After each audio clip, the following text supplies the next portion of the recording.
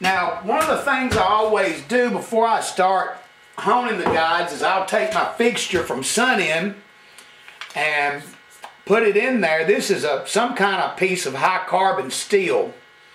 And I'll tighten it up and you just lightly make a few passes. Well, it's kind of hard to hold that summit straight, I don't mind telling you.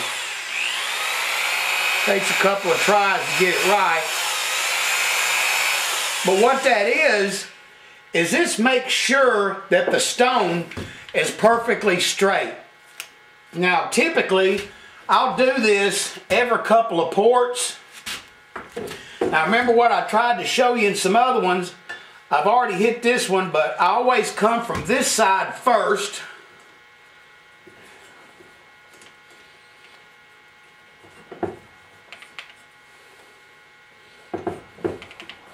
Wow, a lot of difference in measurement on that stone and all right, let's see what we got now.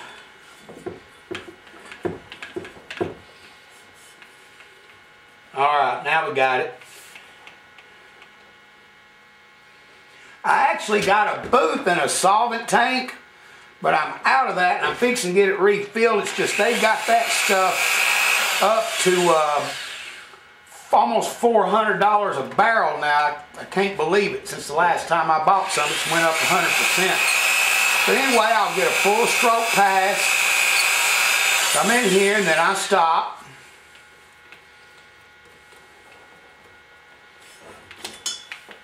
And then I'll just do a primary check. This is an intake valve. All right.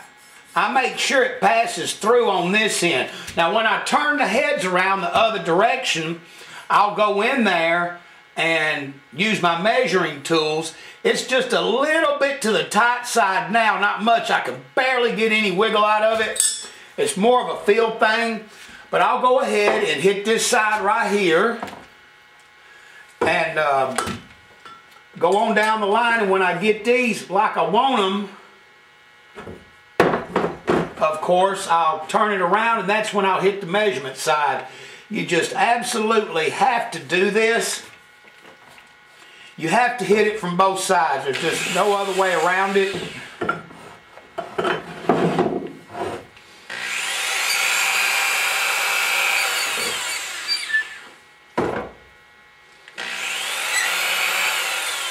All right. A work on the valve guys. I mean to tell you, chopping them down, trimming them, and then bullet nosing them, and then layering them into the roof. But anyway, just wanted to show you I go in there. Every valve set of guides I do is hand on. This ain't nothing special. It's just good practice machine work that you do to them. All right, so I'm gonna go ahead and hit this side, turn around in a minute, hit the back side.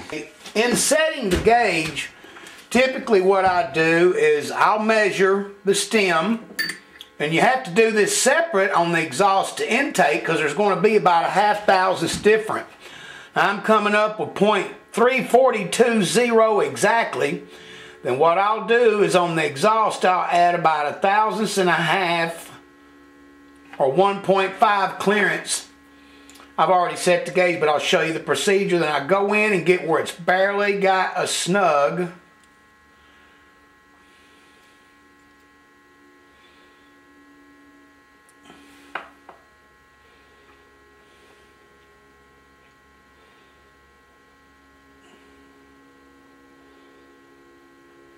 There we go. That's about 1.6. All right, then I go in here, like I said, barely show that I get a snug. Now let's go over to the guide.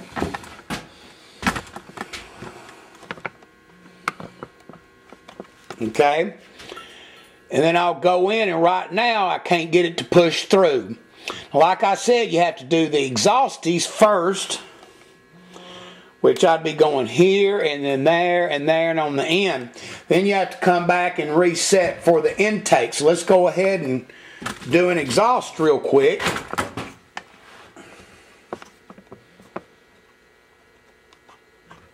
Alright. First thing I do is I'll shoot me some WD in there. Um, I've already hit the, the stone honer so we can go straight to business here.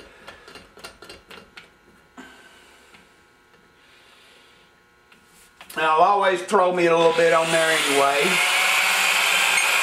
Now this completes the cycle because remember that I've already hit the bottom and before I put any heavy pressure on the hone, I always do a light one first and I'll come back check it with my gauge and then I check a valve. Yep. See, the thing about these China heads is their inconsistency on their guides. Um, you got to watch that with them. And there's another area of inconsistency that'll blow your mind that I'm going to show you when I get done with this. So,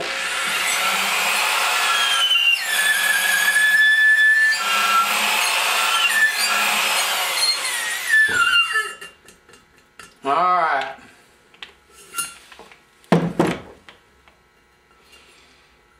Now then, there we go. That's the feel I like right there. That is just perfect. And I know that's going to give me one and a half thousandths. Oh yeah, there we go. Now we're talking. Alright, so that's basically you get the measurement off the stem. This is a four digit Mitutoyo mic. I try to use the good ones. I'll add a thousandths and a half to 1.6 on the exhaust and on the intakes I go to about 1.2 or 0012. So, and some of that clearance is also built into the valve itself. So I'll go ahead and finish the guide work up, then we'll be ready to do the valve job. All right. Our area, while we're on the guides, I wanted to go over real quick. Let's zoom in. Although these heads say that they're for a 530 guide, you would not believe how many of these are off as much as 5 to 8 thousandths on the top.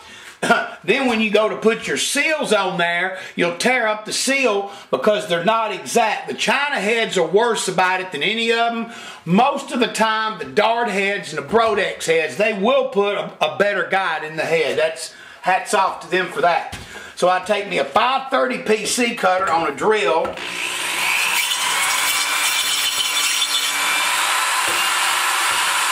See right there, I can tell you I would have had a problem. I'd have tried to put the 530 seal on it and it would have it wouldn't have been the right clearance and I would have probably tore up a seal and had to come back. So I've learned a long time ago just to take this and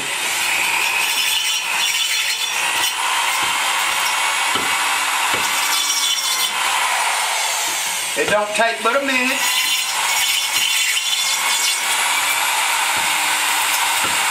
But I will promise you, by doing this, you will not tear up a $30 set of Vitons.